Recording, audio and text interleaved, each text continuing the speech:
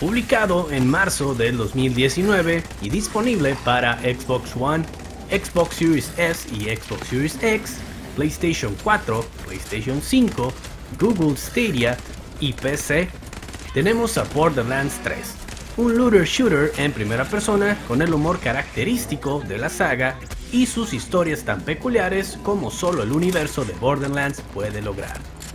En este breve análisis te compartiré los puntos fuertes y débiles del título en su versión para PlayStation 5 basado en mi experiencia. ¿Vale la pena Borderlands 3? Bienvenido a GamerRKR, yo soy Blatch y este es mi análisis. En el extremo de la galaxia se encuentra un grupo de planetas que despiadadas corporaciones militarizadas explotan sin compasión. Este lugar repleto de botín y violencia es ahora tu hogar, mejor conocido como Borderlands. En esta ocasión seremos uno de los nuevos cazadores de bóvedas y nos uniremos a los Crimson Raiders como reclutas para combatir una secta de mente conocida como Children of the Vault y sus misteriosos líderes, los gemelos Calypso, Tyren y Troy, que su influencia se extiende como una plaga interestelar y que también creen haber encontrado un mapa que esconde una bóveda enorme. Si eres nuevo en esta saga, no es fundamental haber jugado los títulos anteriores, pero sí sirve demasiado para entender más a fondo la historia y también a personajes que se suman a ella, Aún así la trama es disfrutable si no tienes conocimiento de todo lo que ha pasado en títulos anteriores, aunque también sentí que tiene algo de relleno innecesario que hace sentir que se extendieron un poco más, y esto hablando nada más de la campaña principal, ya que las misiones secundarias salen por doquier, así que por contenido no vas a sufrir porque aquí hay de sobra.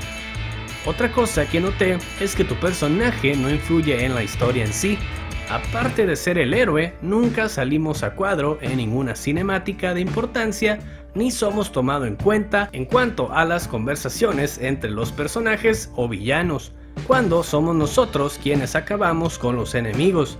Somos algo irrelevantes ya que la historia no trata de nosotros, sino de los demás personajes. Sin duda alguna, el gameplay es donde más brilla este juego, ya que pasa de todo en cuestión de segundos, desde enemigos apareciendo por todos lados hasta desmembramientos a diestra y siniestra. Tenemos cuatro personajes principales y cada uno tiene su propio rol de juego según tu estilo como habilidades especiales de cada uno, que podremos ir mejorando tanto habilidades activas como pasivas para ser una máquina demoledora o controlar nuestro alrededor y sacar provecho de ello.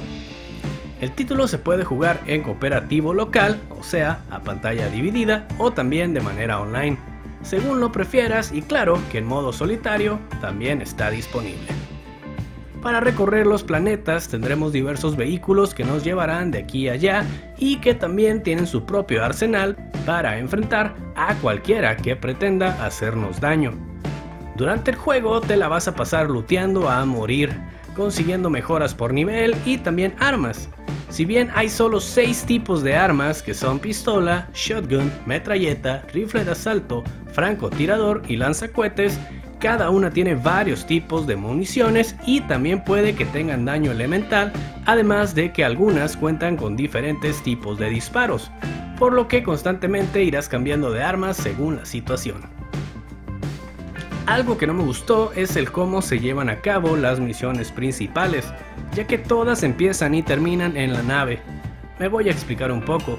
Tienes que empezar la misión, salir al planeta, ir al punto A, B o C, según la misión requiera, y después volver a la nave para hablar con fulanito, y en ocasiones se siente bastante innecesario, ya que solo te agradecen en la mayoría de los casos, cosa que pudieran hacer mediante una llamada en el juego. Es más, cuando lo requieren se pueden transportar a donde tú estás. ¿Por qué no hacen eso de vez en cuando en cada misión?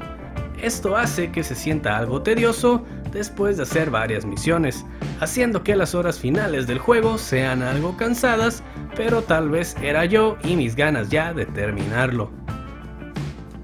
Visualmente luce muy bien con su estilo que lo caracteriza desde la primera entrega, pero claro con mejor resolución y el juego corre bastante fluido en PlayStation 5 a 60 cuadros y hace que se disfrute de todo lo que pasa en la pantalla al mismo tiempo, tan fluido como el agua.